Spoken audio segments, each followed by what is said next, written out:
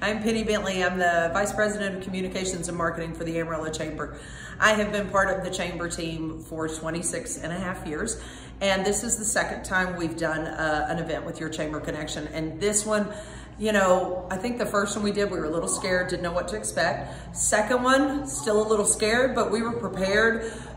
But coming out of a year after a pandemic, not knowing what this was going to do, not knowing if we were going to have the community support and the volunteers, and it literally just blew our minds.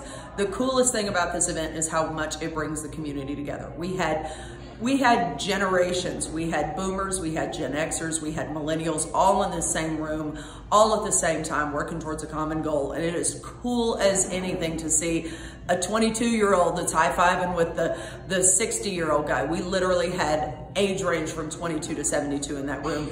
And it, it just, it, it, that's what it's about because the young kids are the leaders of our, of our future in the business community and they're gonna get some great experience from those people. And if you can do one of these events, it is literally just gonna bring your community together. I mean, I'm, we're so thrilled with the results. Having over 500 members is incredible but to see the faces of the people after they left there volunteering, they are now ambassadors for our community. They know what it means to be part of a chamber and getting involved. And and it's just, we're, we're so thrilled. We couldn't be happier. Jimmy's awesome.